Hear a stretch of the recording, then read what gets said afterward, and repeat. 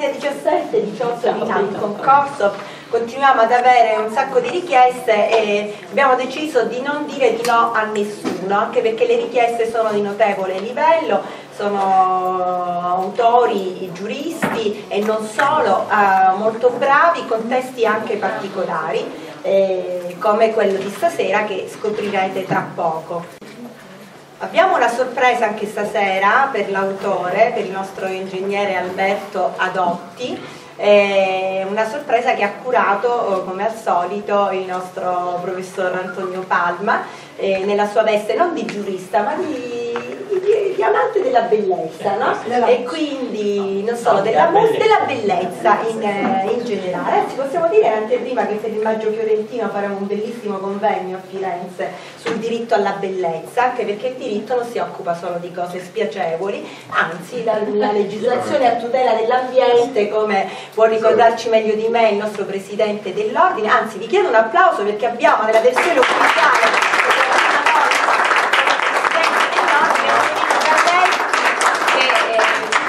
conoscete, che già qualche anno fa ci ha onorato di diventare il nostro socio onorario, eh, che avete visto e apprezzato come consigliere tesoriere e che adesso abbiamo anche finalmente come presidente dell'ordine più numeroso. Porta di fortuna a vicenda.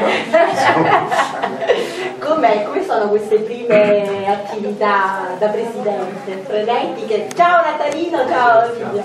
Eh... Ma interessanti, stiamo facendo diverse cose concrete, tra l'altro adesso vengo dalla Regione Lazio dove stanno facendo una proposta di legge a tutelare l'equo compenso condivisa da tutte le forze politiche, quindi un bel, un bel segnale che stiamo portando avanti e dovrebbe diventare legge a breve, quindi è una buona cosa per tutti. Insomma, ecco. Quindi un buon, inizio, un buon inizio, un buon inizio, un buon inizio. e quindi noi dobbiamo augurare soprattutto un buon lavoro perché comunque è un'attività molto faticosa, l'ordine quanti iscritti? 25.700. Ah. Napoli quindi siamo 1701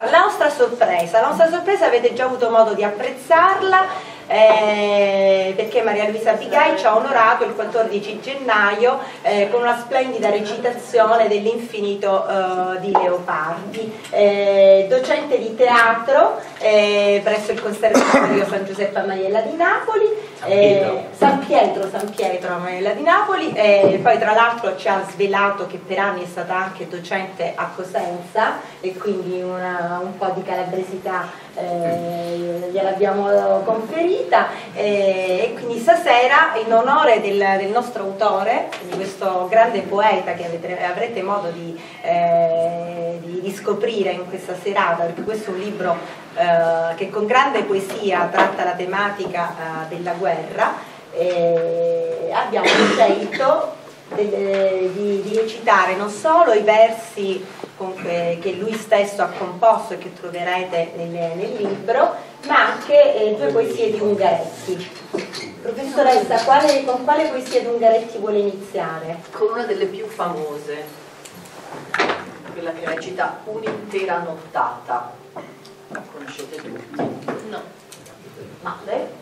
Molto, molto. Vabbè, chi non la conosce può, ah, la conoscerà, la conoscerà. Vi faccio anche un avviso uh, doveroso che eh, come in tutti i nostri, nostri precedenti incontri, eh, questo incontro viene ripreso a Liberi TV, ringraziamo Gianni Colacione che è qui con noi, che ci segue con grande affetto anche, non solo con grande professionalità, poi sapete che tutti gli interventi eh, possono essere visibili, scaricabili, ogni singolo intervento documento su liberi.tv, eh, tra l'altro sono anche descrittivi per cui avrete modo subito di individuare il relatore o l'autore, eh, quindi eh, se qualcuno ha qualcosa contra in contrario alle riprese lo dica ora o taccia per sempre, eh, no. quindi eh, il saluto, il caro saluto ed affettuoso che Cosimo Maria Ferri ha mandato al nostro autore, che sapete Cosimo è il nostro socio fondatore e sostenitore, ma è anche una persona profondamente legata al nostro autore. Eh, sveliamo il motivo dell'amicizia, un'amicizia antica e che riguarda innanzitutto il professore Enrico Ferri, eh, grande amico di Alberto. Allora, carissimo Alberto, ti ringrazio per avermi onorato ancora una volta della richiesta di presentare il tuo emozionante libro sull'orrore della guerra. Ricordo con piacere la magnifica giornata passata a Pontremoli quest'estate. Altri impegni mi impediscono di partecipare a questa edizione romana del nostro salotto Iusarte Libri che ti vede come concorrente per il premio Il Ponte della Legalità che ho l'onore di conferire a Pontremoli nella mia amata città del libro. La profonda amicizia che ti lega a mio padre mi rende orgoglioso del tuo talento narrativo. Gli undici racconti dedicati agli undici militi ignoti della Prima Guerra Mondiale, rimasti sepolti ad Aquileia, diventano affreschi in cui il candore degli ideali della patria Italia e la nobiltà dei sentimenti prevale sul plumbeo orrore della guerra. L'orgoglio per il tuo talento cede il passo al dovere di fare memoria, inteso come servizio reso ad ogni cittadino italiano.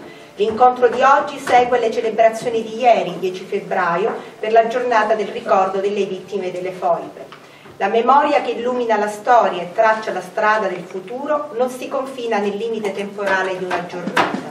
Per conferire ai nostri caduti in guerra la dignità del ricordo, dell'identità e del servizio reso alla patria, occorrono libri ed incontri di studio fra uomini di valore, come quello di stasera. Al tuo libro e agli amici e soci di Just Arte Libri il mio plauso ed il mio sostegno. Ti aspetto a Pontremoli con tanto affetto insieme alla tua famiglia.